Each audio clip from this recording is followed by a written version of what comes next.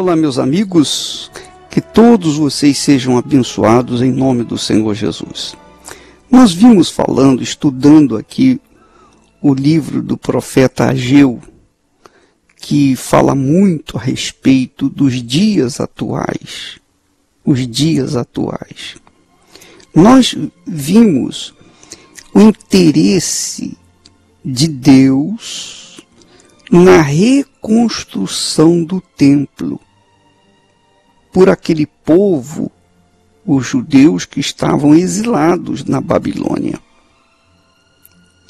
Os judeus estavam lá na Pérsia, que era o, a Babilônia, que era que hoje é o Irã. Eles estavam lá exilados. Deus fez com que o rei Dario, que dominava aquele império, mandasse o povo judeu para a sua casa, para a sua terra. Por, é óbvio que Deus instruiu, que Deus fez essa, essa libertação para com o povo de Israel. Então ele voltou, o povo voltou para Jerusalém. E Deus imediatamente instituiu dois homens que eram, por exemplo, o governador, que era Zorobabel, e também o sumo sacerdote chamado Josué, para dirigirem a construção, a reconstrução do templo. Hoje nós estamos reconstruindo o templo aí em São Paulo. Mas naquela época era em Jerusalém. E por que que Deus insistia na reconstrução do templo? Essa é a pergunta. Por que, que o templo foi, foi construído, por exemplo, o tabernáculo no deserto, com Moisés, depois foi feito por Salomão, depois foi erguido por Zorobabel, que é o caso de, que nós estamos falando agora, e depois foi feito por Herodes. Por quê? Por que, que Deus incitou os homens a reconstruir o templo várias vezes? Você acha que, por exemplo, se não tivesse templo, Deus iria ficar na rua? Seria mais um morador de rua? Não, não é isso. A gente sabe que não é isso. Deus não, não mora em casas feitas pelas mãos dos homens. Nem a réplica do templo de Salomão será a morada de Deus. Ele vai morar aí. Deus mora, obviamente, dentro dos corações, dentro das pessoas. É aí que as pessoas têm verdadeiramente o, a, a glória de Deus. A reconstrução do templo é um símbolo da reconstrução da vida de cada um. Daí a razão desses três domingos seguintes, a partir desse domingo agora, o domingo da restauração, o domingo da reabilitação, da renovação, o, do, o domingo do reavivamento.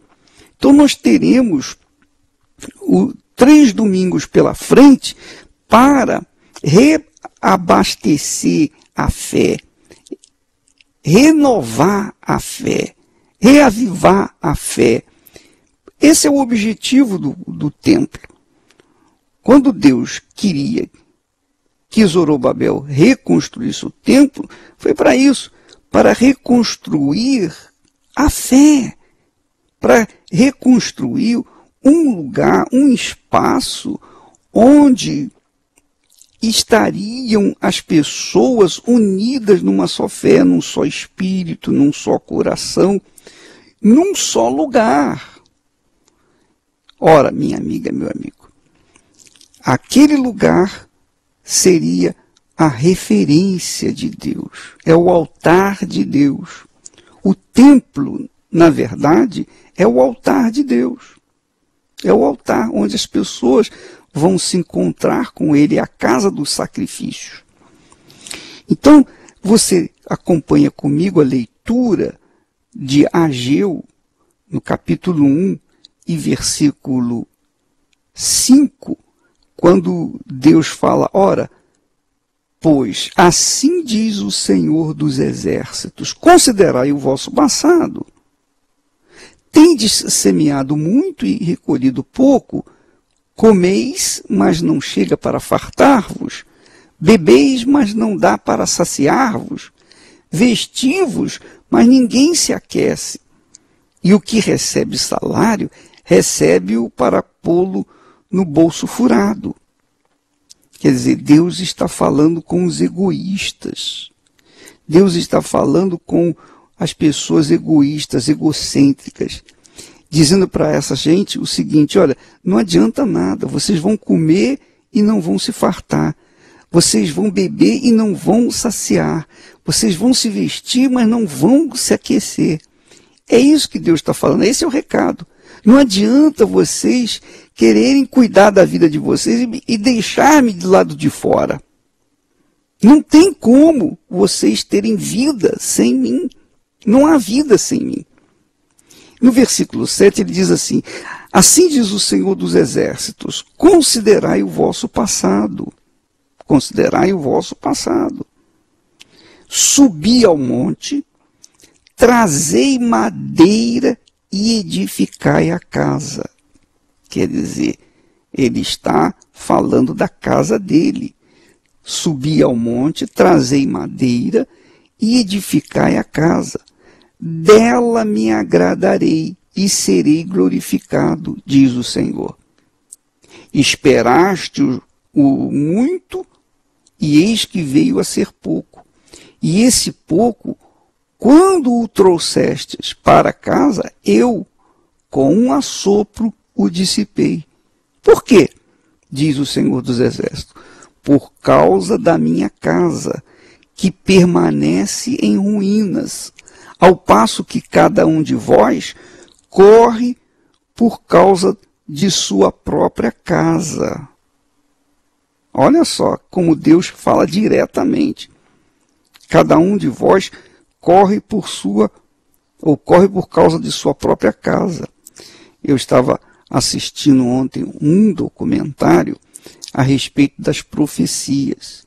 E é interessante que o, o texto, o homem falava o seguinte: que hoje, nos dias de hoje, as pessoas não estão preocupadas com as profecias. As pessoas não estão é, dando atenção àquilo que Deus falou no passado, as profecias que estão escritas na Bíblia.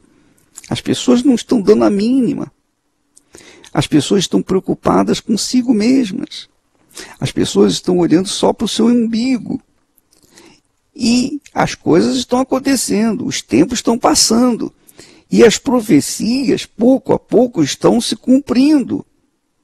As profecias estão se cumprindo. Não tenha dúvida, minha amiga, meu amigo.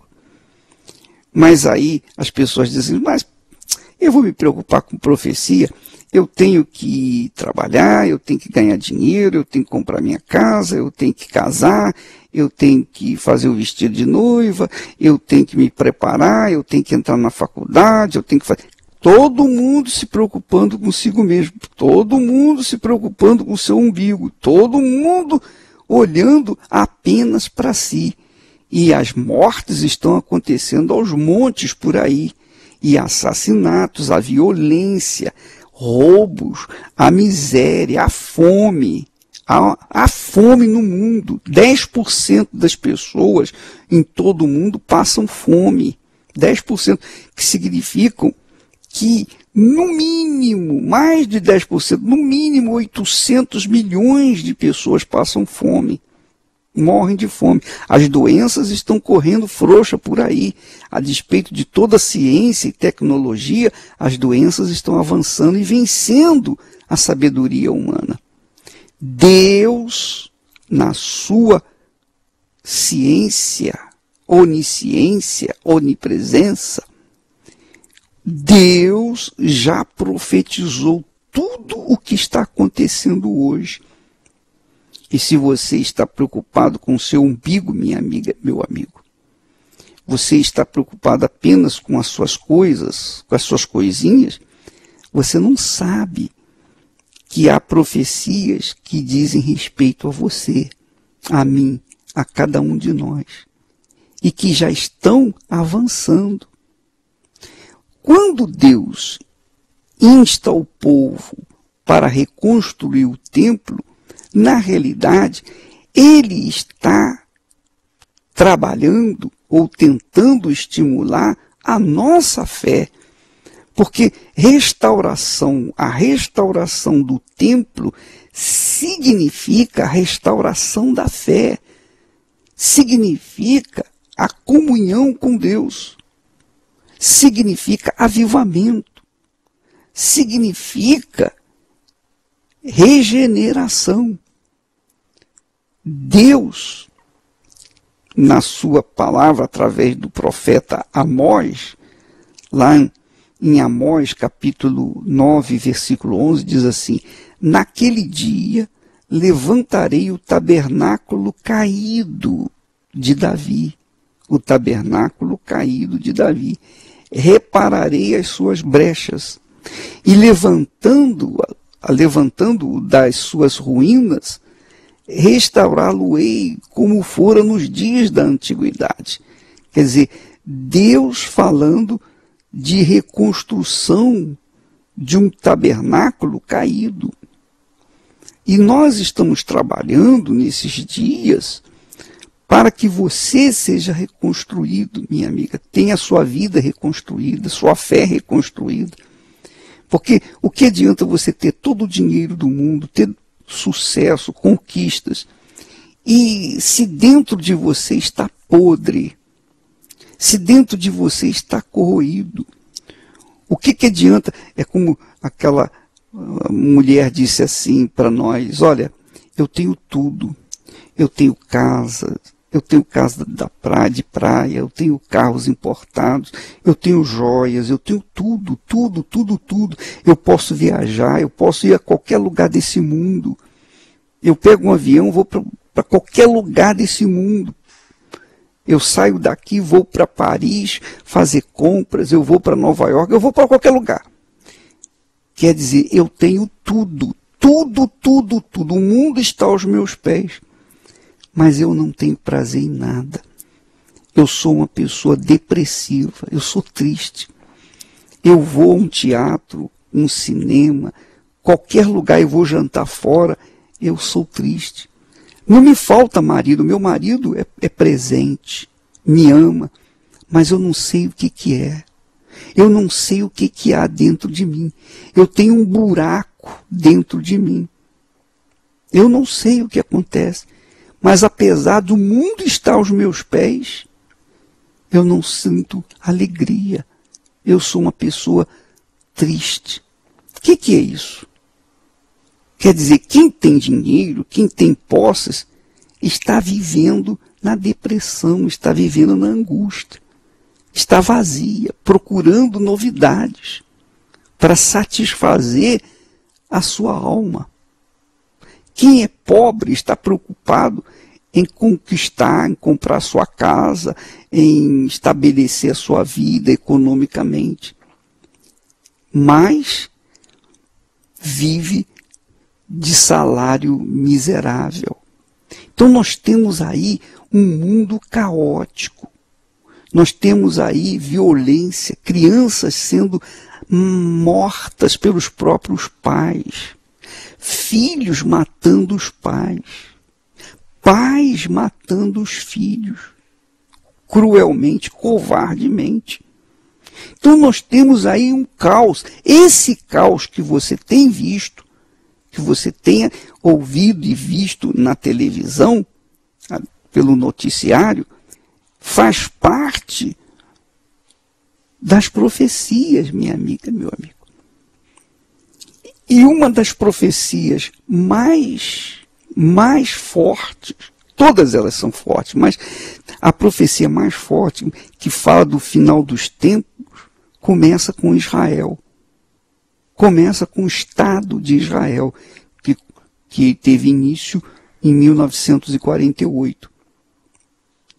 Então, a partir daquele dia da instauração do Estado de Israel, então, o horário é, regressivo, a hora regressiva, o tempo regressivo da vinda de Jesus começou. Então, quando nós estamos tratando, quando Deus está tratando da casa dele, quando ele fala por causa da minha casa que permanece em ruínas. Essa casa que permanece em ruínas é você. É você que está me ouvindo nesse momento. Essa é a casa que Deus quer construir, reconstruir. Você é a casa que está em ruínas e que Deus quer construir. Mas você não se deu conta disso. Você está preocupado com a sua casa exterior. Você está preocupado com, com seus bens materiais. Mas a sua casa está em ruínas. Essa casa em ruínas é o seu é o seu, a sua comunhão com Deus, é a comunhão de Deus contigo, é o seu relacionamento com Ele. O Espírito Santo quer fazer de você a morada dele, o templo dele. Mas você está preocupado ou preocupada em casar, você está preocupado em construir a sua casa, você está preocupado com mil e uma coisas.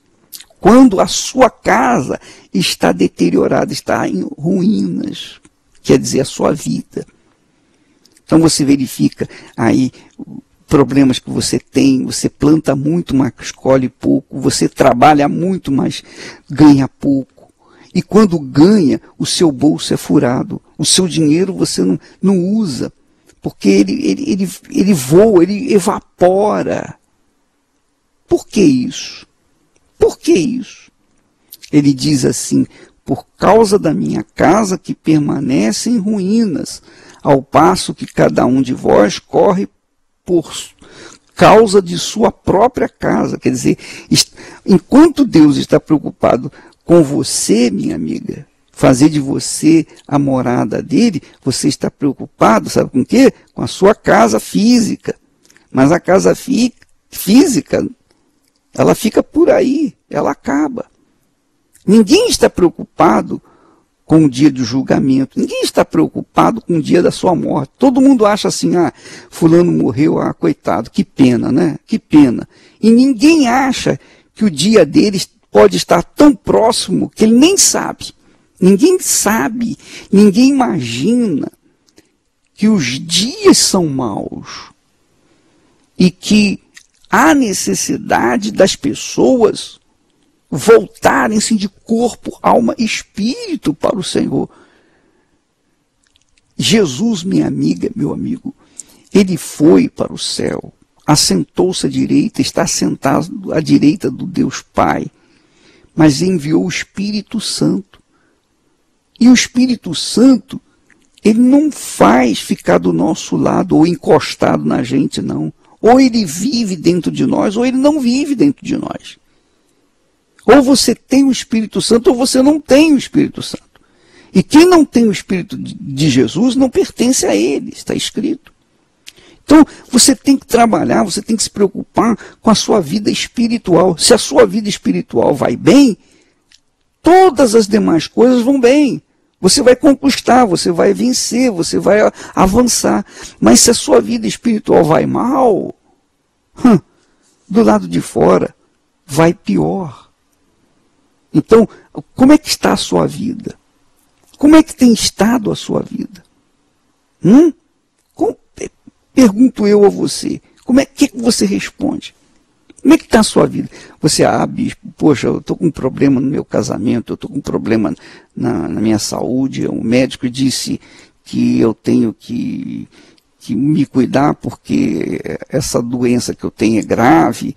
O outro médico disse que eu tenho que tomar um remédio.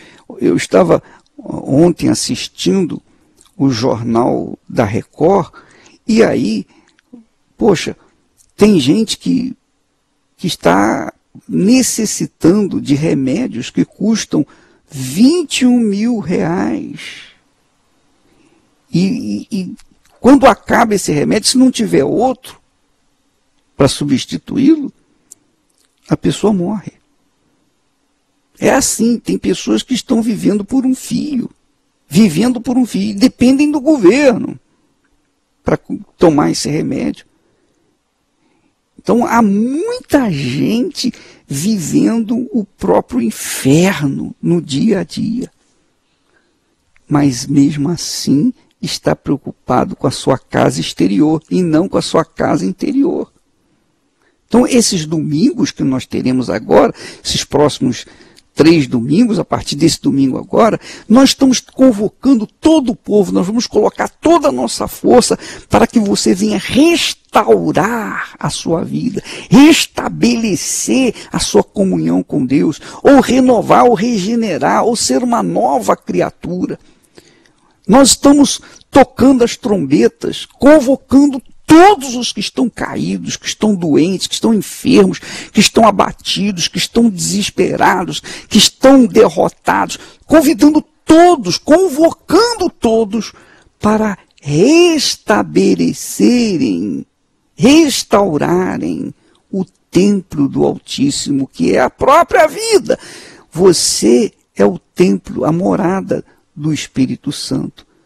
Mas enquanto essa morada estiver deteriorada, como Deus vai habitar nela? Como Deus vai habitar em mim se eu estou vivendo em pecado? Se eu estou vivendo em adultério, em roubo, em, na mentira? Como que o Espírito Santo pode viver dentro de uma pessoa enquanto essa criatura está totalmente em pecado, vivendo na injustiça? Ah, minha amiga, meu amigo, esses próximos três domingos são para você mudar de vida, nascer de novo, avivar, reavivar a sua fé. Ontem eu estava atendendo no pastor online e o rapaz estava falando assim, bispo, meu problema é eu estou apaixonado por uma mulher casada. Eu sei que ela me ama. E eu a amo. Mas ela acabou comigo. Ela não quer mais. O que, que eu faço? Quer dizer, a pessoa está tá pulando o muro, está indo na casa do outro, pegando a mulher do outro. O que, que ele pode esperar? Eu pergunto, que, que você, qual é o, o que, que você acha que vai acontecer com esse relacionamento? Hein? O que, que você acha que pode acontecer? Qual é o futuro que tem esse relacionamento? Tragédia. Imagine que o, seu, que o marido dela desco, descobre esse relacionamento, o que, que ele não vai fazer com ela ou com você? Então, minha amiga, meu amigo, vamos colocar os pingos nos is. Vamos, nesses três domingos que se aproximam, a partir desse domingo agora, voltar toda a nossa força para reconstruir o templo do Espírito Santo que somos nós. Nós vamos falar com Deus agora para lhe dar forças, para que você venha restabelecer os seus valores morais e espirituais, a fim de que você venha servir como templo, a morada do Espírito Santo. Vamos orar.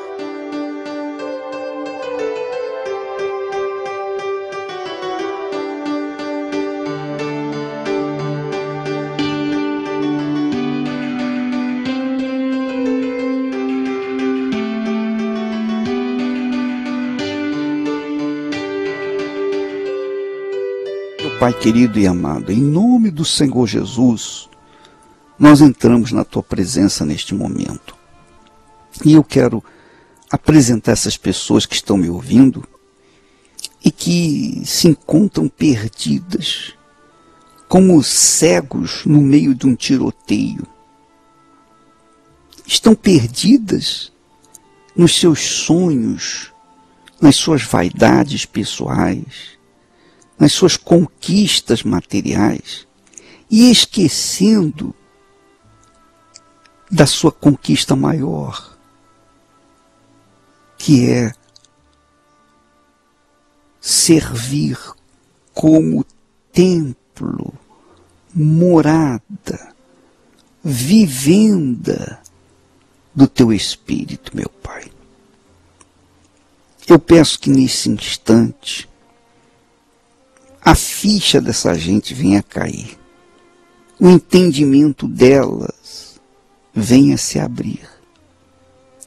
Porque o que adianta construir mundos e fundos neste mundo enquanto no interior há depressão, há angústia, tristeza, vazio.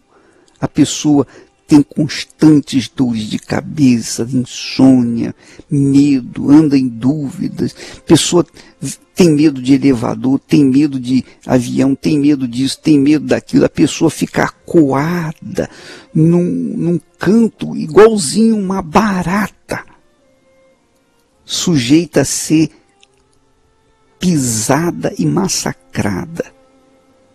Ó poderoso de Israel, eu te peço por essa criatura que me ouve e que, e que diz assim: Meu Deus, me ajude, tem compaixão de mim, tenha compaixão de mim. Porque é como o Senhor Jesus disse: buscai em primeiro lugar o reino de Deus e a sua justiça todas essas coisas vos serão acrescentadas. Meu Senhor, nós estamos trabalhando para que essa gente venha servir como morada, templo, o verdadeiro templo do Altíssimo, para que elas então estejam em condições de viver o dia a dia e aproveitar o dia a dia, mas em comunhão contigo, em relacionamento contigo. Meu Jesus querido, eu te peço, dá discernimento a essa criatura para compreender a tua palavra, para compreender a tua vontade, porque a tua vontade para a vida dela é a melhor. O Senhor sabe o que é melhor para cada um de nós. E o Senhor quer nos dar o melhor. O Senhor não quer nos dar o que a gente quer. O Senhor quer nos dar o que é o melhor para nós, o que nós precisamos. Então venha ao encontro dessa criatura que me ouve para livrá-la, libertá-la desse, de, de, desse dessa ignorância espiritual, dessa desinformação espiritual, para que ela venha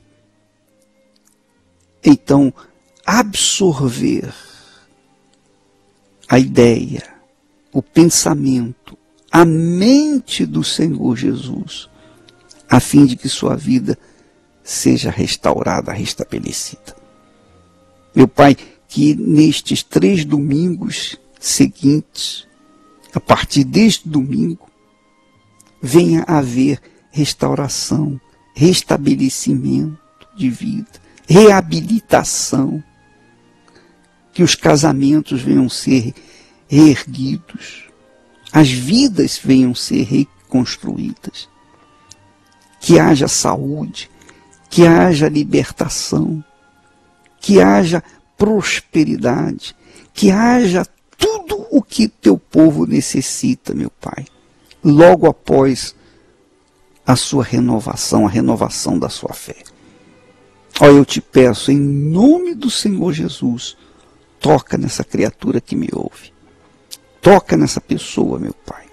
Já, imediatamente, para que ela venha priorizar o que é mais importante na sua vida, que é servir como templo, morada do Espírito Santo. Em nome do Senhor Jesus eu te peço e agradeço, e todos os que creem digam amém. E graças a Deus.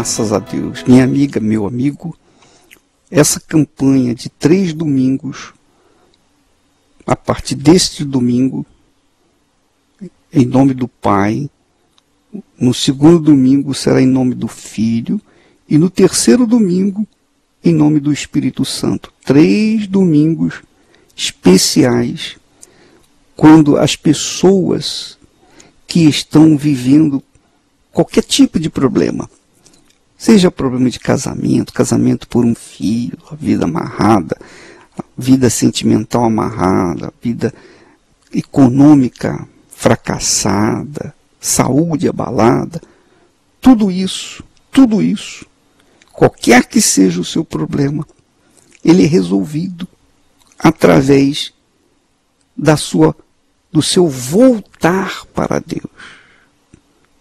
Você sabe que as pessoas vinham para Jesus, elas não eram religiosas. Elas viviam suas vidas como você também está vivendo a sua vida. Mas a partir do momento que elas vinham até Jesus, a partir do momento que elas se voltavam para Jesus, então havia curas, havia libertação, havia milagres na vida delas. E é isso que eu quero que você faça. Que você venha se voltar para Jesus. Nesse domingo, três domingos, quando você vai ter oportunidade de ter todos esses problemas resolvidos, mas você vai ter que se voltar para Ele.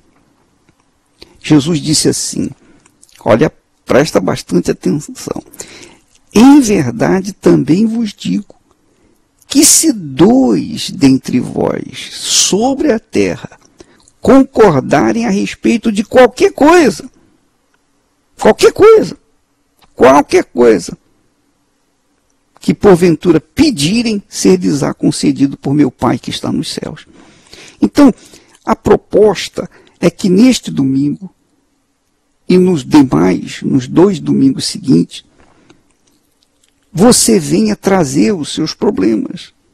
Qualquer que seja o seu problema, qualquer que seja a sua necessidade, qualquer que seja a sua dor, mas você venha trazê-lo para quem? Para Jesus. Você vai apresentar para ele. Porque se você vier, você vai manifestar crença, vai, vai manifestar fé. E se você manifesta fé, você vai receber. Então é o dia da renovação, é o dia do reavivamento, é o dia da restauração, é o dia da reabilitação.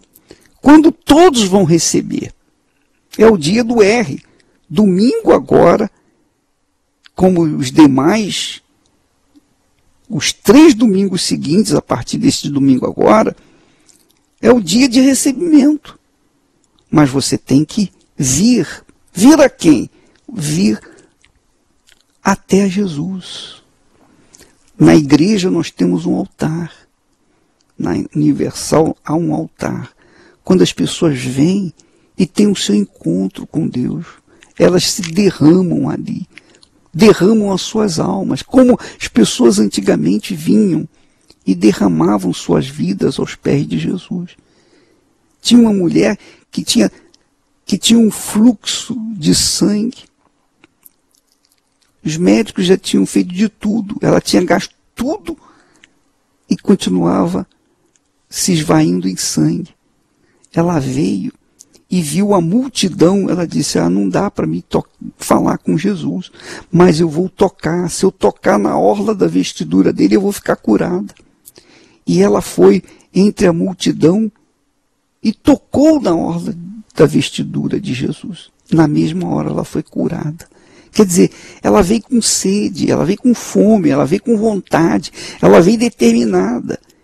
Ela veio por causa da sua própria fé. Ela não era religiosa mas ela veio movida por uma fé. E essa é a fé que nós queremos que você venha.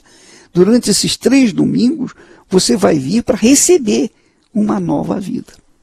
Você não tem que pagar nada, é de graça. Porque o pastor e você vão concordar e satisfazer essa condição da promessa de Deus. Se dois, se dois dentre vós sobre a terra concordarem, então nós estaremos concordando com você. Tá bom, minha amiga, meu amigo? Eu aguardo você lá. Deus abençoe em nome do Senhor Jesus.